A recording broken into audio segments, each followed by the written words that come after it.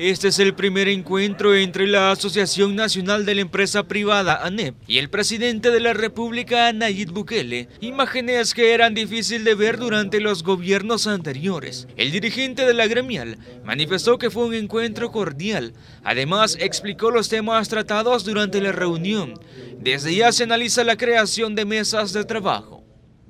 Temas como el salario mínimo, como la reforma de pensiones, eh, la, la los planes de seguridad, los planes anti-extorsión.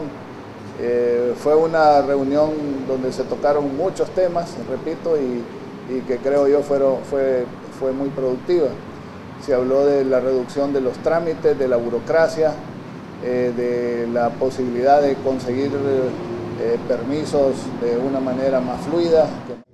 El cambio de gobierno también trajo un nuevo escenario en el panorama internacional, algo que se tiene que aprovechar, dice el sector privado. Y es que en los últimos meses, El Salvador se alejó de Venezuela y sus aliados para acercarse a Estados Unidos. La nueva situación que está viviendo El Salvador ante cambios geopolíticos que se han dado en la región centroamericana y en la región latinoamericana lo positivo que ha sido el tener una mejor y más cercana relación con nuestro principal socio comercial que es Estados Unidos y las posibilidades que ahorita en este momento se abren por el hecho de tener, de tener otra imagen ante los organismos multilaterales e internacionales. ANEP también invitó a Nayib Bukele a participar en el Encuentro Nacional de la Empresa Privada en ADE 2019. Hablamos de los temas que van a estar contenidos en el ENADE, que es innovación e inversión en infraestructura estratégica.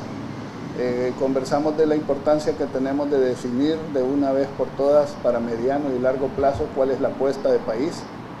Sugerimos respetuosamente que todos los indicadores nos señalan que la apuesta a la que debemos nosotros poner todo nuestro mayor esfuerzo es convertir a El Salvador en una plataforma logística y de servicios regional la empresa privada también cree que se debe hacer una depuración en los órganos de Estado, como el judicial y la Asamblea Legislativa. Por el momento no hay una nueva fecha de reunión, pero sí mostraron su disponibilidad para un nuevo encuentro.